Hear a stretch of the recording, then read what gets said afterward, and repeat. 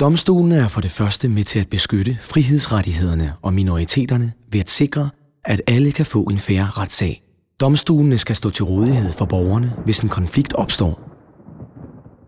Uanset din stilling i samfundet, kan du få prøvet din sag ved domstolene. For det andet er domstolene et værn, der sikrer, at borgerne beskyttes mod overgreb fra andre statsmagter. Bliver du sigtet eller tiltalt af politiet, er det domstolenes opgave at sikre retfærdighed.